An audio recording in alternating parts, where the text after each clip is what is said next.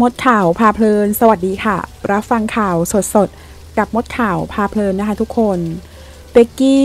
เกิดเหตุไม่คาดฝันบนเวที วอนลูกค้าถ่ายไว้ลบทิ้งด้วย อีกหนึ่งดาราสาวมากฝีมืออย่างเป็กกี้สีธัญญา เรามักจะเห็นผลงานของเธอมากมาย หลากหลายด้านเลยนะคะ ล่าสุดขึ้นเวทีจับไมค์ร้องเพลง แต่ก็เกิดเหตุการณ์ไม่คาดฝันค่ะ เมื่อเต้นอยู่จู่ๆเสื้อก็หลุด จนทำให้เธอเองต้องโพสต์ ประกาศผ่านทางอินสตาแกรมส่วนตัวระบุข้อความเอาไว้ว่า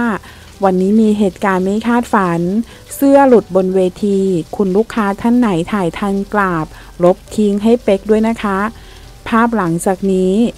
ขอบคุณค่ะ วันนี้ขอบพระคุณสิงห์นะคะท่ามกลางคนบันเทิงแล้วก็แฟนคลับส่งกำลังใจให้ล้นหลามเลยค่ะ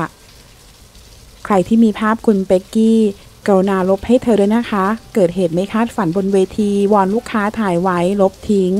ขอขอบคุณข้อมูลจากที่นี่ .com ค่ะ